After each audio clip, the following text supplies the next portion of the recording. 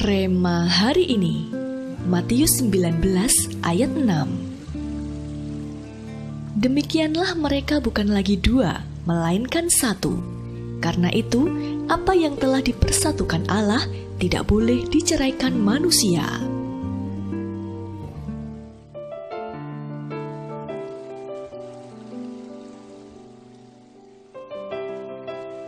Pria dan wanita diciptakan sederajat oleh Tuhan, tetapi sama sekali berbeda. Kebanyakan pria bertindak berdasarkan logika, sementara kebanyakan wanita bertindak berdasarkan perasaan. Kebanyakan pria bisa lebih fokus dalam mengerjakan sesuatu, tetapi sulit mengerjakan beberapa hal di waktu yang bersamaan. Sementara kebanyakan wanita diberi kemampuan untuk bisa mengerjakan beberapa hal di waktu yang sama.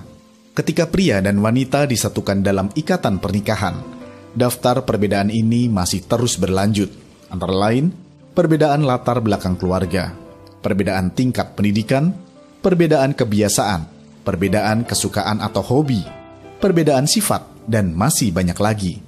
Kalau perbedaan dipandang secara negatif, maka hal itu bisa memicu keretakan dalam rumah tangga.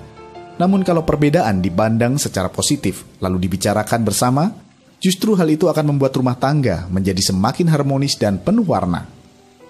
Ya, hal yang paling sering dilupakan oleh pasangan suami istri adalah kenyataan bahwa mereka tidak sama. Sehingga ketika mereka menemukan perbedaan, mereka panik dan cenderung membangun benteng perlindungan diri. Memang butuh perjuangan untuk menyelaraskan perbedaan, tetapi satu hal yang perlu kita ingat adalah bahwa perbedaan bukanlah sebuah jalan buntu yang bisa mengakhiri segalanya. Perbedaan yang disikapi secara dewasa dan dibicarakan dengan baik-baik bersama pasangan pasti akan menghasilkan sebuah kolaborasi indah, seperti pedal gas dan rem pada sebuah mobil. Bukankah pelangi menjadi indah karena warna-warnanya berbeda? Demikianlah perbedaan. Seharusnya mewarnai kebahagiaan dalam pernikahan dan juga keluarga.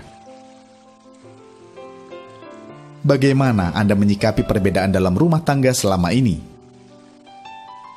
Pelajaran apa yang Anda dapatkan melalui pengalaman Anda itu? Komitmen apa yang akan Anda ambil supaya perbedaan dalam rumah tangga Anda bisa menghasilkan sesuatu yang indah dalam Tuhan? Tuhan, mampukan kami untuk melihat setiap perbedaan sebagai sesuatu yang indah dan dapat menjadi berkat bagi hidup kami.